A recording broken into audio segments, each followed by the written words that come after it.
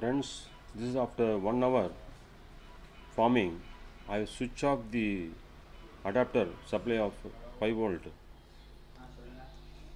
For your confirmation I'll take out the wire also. I'll take out the wire.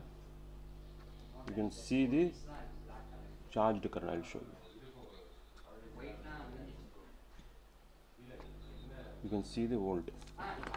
This will give you a practical demo how the volt is charged.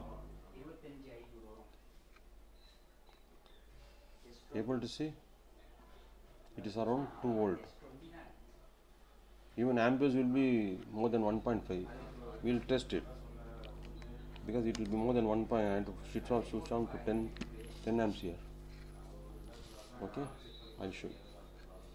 So we'll put in amps and so we'll put it here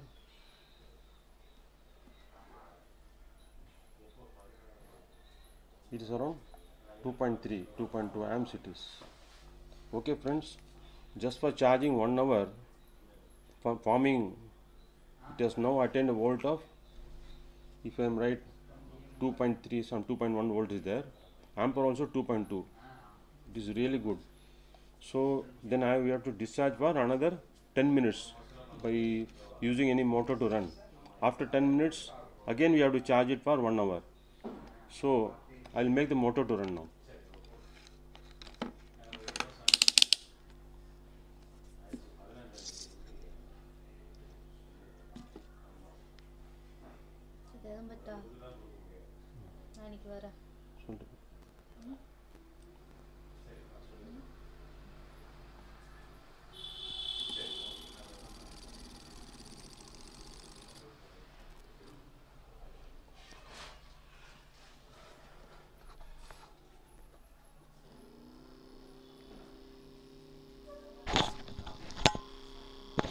Are you able to see the sound of the motor?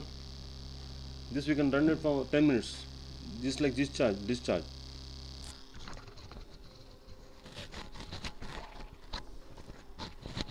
Then after 10 minutes, again we have to charge it for 1 hour.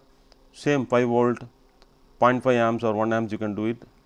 Left to the adapter you have in your house. Able to see the sound? I'll just show you the motor. Able to hear it?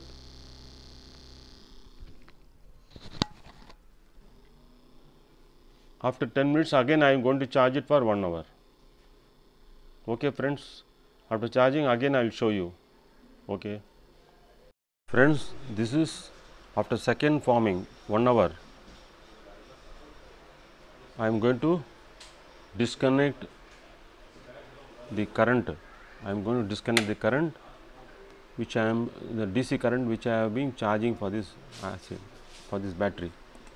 So I disconnected through external multimeter we will see what is the volt it has attained. This is the positive, this is the negative side.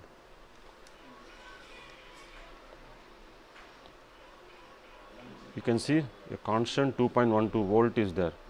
So again you can go for another uh, forming one hour, another one hour also can go. Some uh, real commercial batteries they go for even 5 hours. So that it gives a long shelf life. That is why. For our purpose this is this is the principle I am showing you forming this I will do for third forming also. Now I am going to discharge it. If you want we can see the amps also. What will be the amps? You can see it. This is the positive negative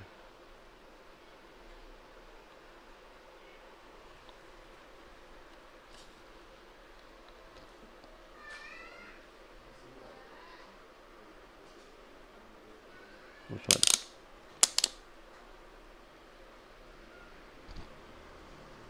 It's 2.5, nearly 2.48 amps.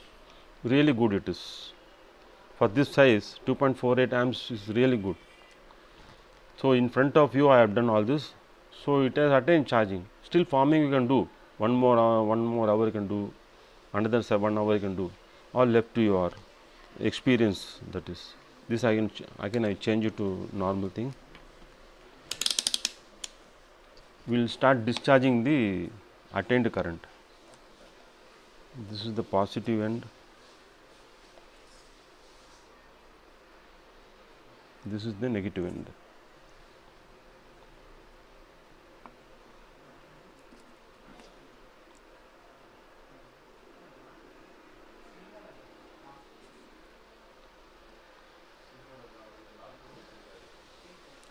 so again let this motor run for an say or 10 minutes.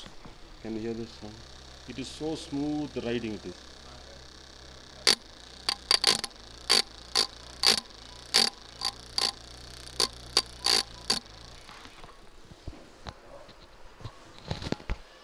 So al- almost it is 50 more than 50 percent forming has taken place. You can repeat for another two two stages one hour one hour stages. In between you can discharge for one I mean 10 minutes 15 minutes. 15 minutes better. Again you have to charge it. If you do like this the battery attains this uh, fluid what you call uh, flow. It can at, uh, when it is been applied for any use it can do its job.